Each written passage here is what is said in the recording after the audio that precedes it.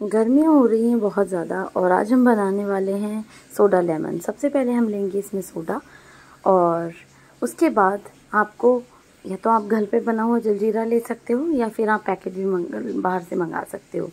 आपको चाहिए थोड़े से पुदीने के पत्ते और काला नमक और थोड़ा सा शुगर सिरप या फिर आप शुगर भी डाल सकते हो।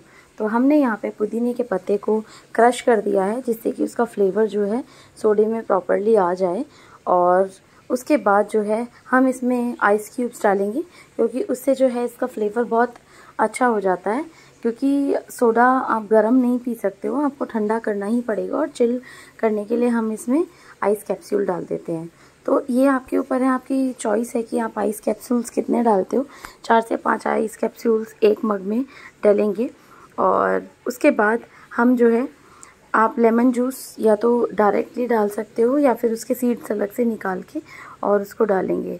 यहाँ पे मैंने डाला है जलजीरा और हाफ़ चम्मच से ज़्यादा जलजीरा डालना है आपको।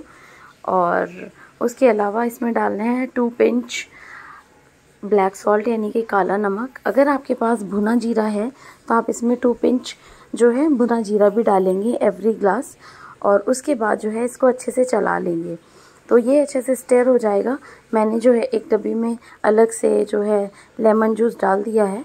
तो वो आपको सीडलेस यानी कि पहले से ही आप छन्नी में छान लेना या फिर आपके पास स्क्वीज़र है लेमन स्क्वीज़र तो आप उससे भी निकाल के डाल सकते हो।